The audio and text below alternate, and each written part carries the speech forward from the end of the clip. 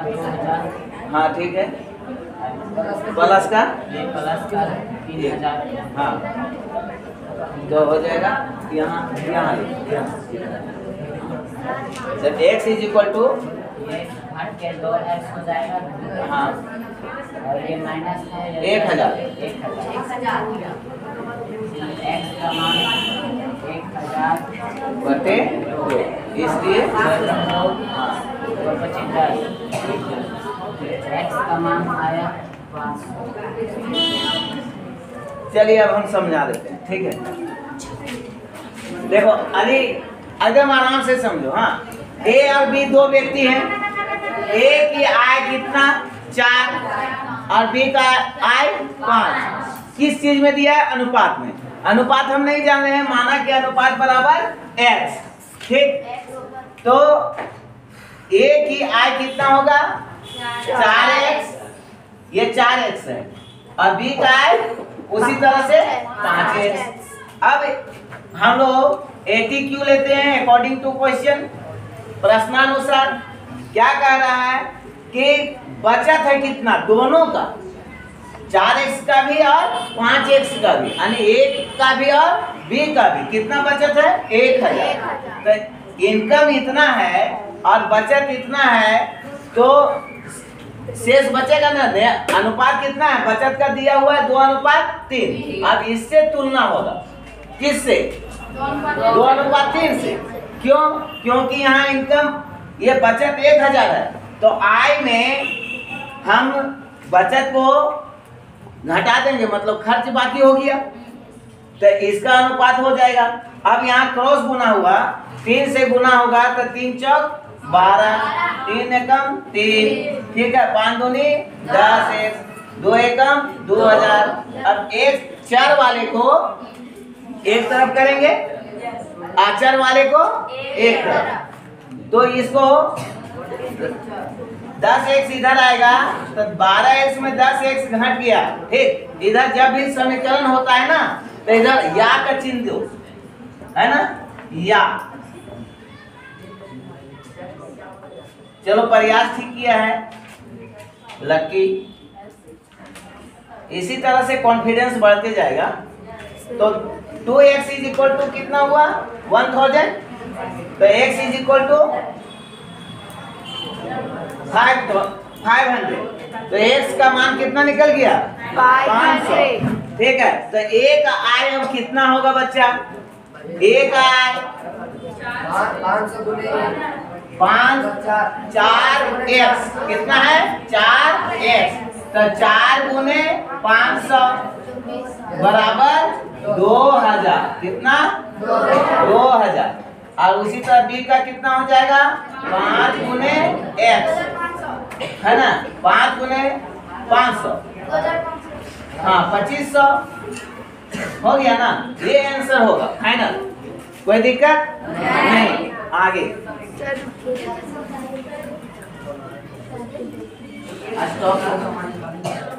जिसको हम चाह रहे हैं, जिसको निकालना है अभी अनुपात, बराबर, ए बटे बी बराबर, सी बटे डी बराबर डी बटे तो बताए थे कि इसको गुना हो जाएगा?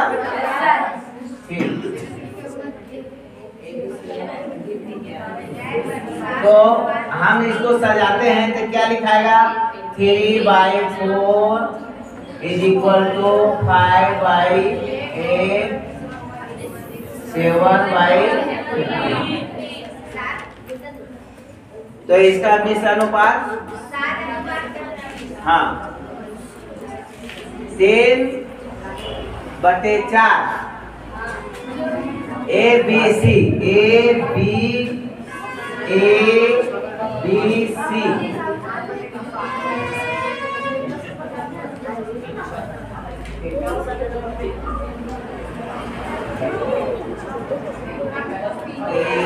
पाँच और सात को क्या कर देंगे?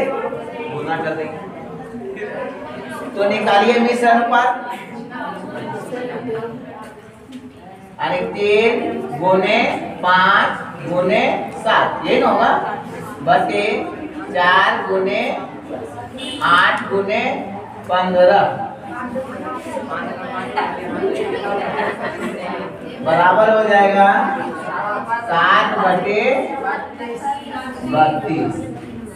मतलब सात अनुपात बत्तीस आंसर हो गया। कहीं किसी को दिक्कत है क्या? क्योंकि ये मिश्र अनुपात का एक भी नहीं बना था। तो इसी तरह कोई भी रहेगा मिश्र अनुपात का तो बना लेंगे।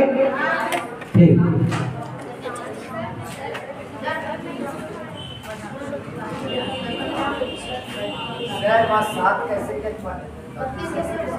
अच्छा ठीक।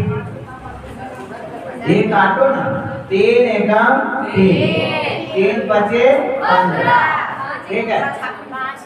और पाँच पाँच कैंसिल देखो सात बटे बत्तीस। ठीक बोले। कैसे आया? आठ चौ बत्तीस हुआ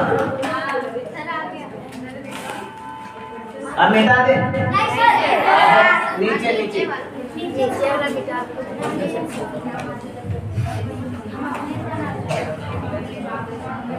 हो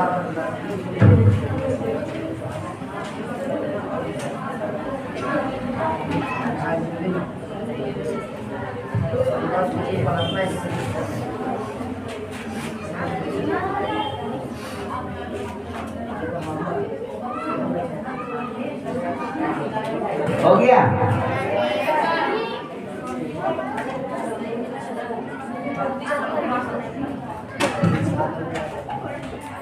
इसका कितना हो जाएगा? तीन गुने पाँच। अनुपात ये सीधा का सीधी रहेगा, है ना? चार अनुपात पाँच। और ये फिर इसमें आ जाएगा ना गुने सॉरी सॉरी ये गुना जाएगा ना, अनुपात चार अनु, गुने आठ।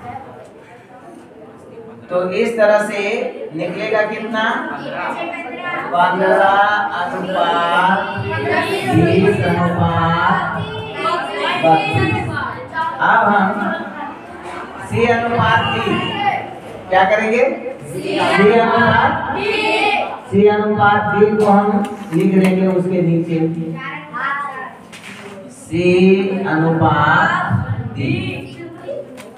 तो सी अनुपात डी। ए बी सी तो कहाँ लिखाएगा? ए बी सी हो गया है। तो ये लिखाएगा देखो चार अनुपात सात है। तो यहाँ चार अनुपात सात। यहीं पर ठीक होना चाहिए? ठीक। चार अनुपात सात। अब हम इसको ये कर देंगे। पंद्रह चौके? पंद्रह चौके सात ऐसे जाएगा। फिर उसी तरह करेंगे ना। उसके बाद ऐसा आएगा।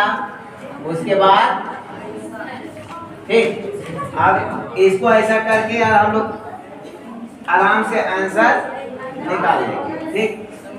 तो पंद्रह चौके सात। तो ये कहलाएगा ए अनुपात, बी अनुपात, सी अनुपात, डी। बराबर पंद्रह चौके सात, अनुपात बीस चौक, अस्सी, अनुपात एक सौ अट्ठाईस अनुपात दो सौ कैसे कैसे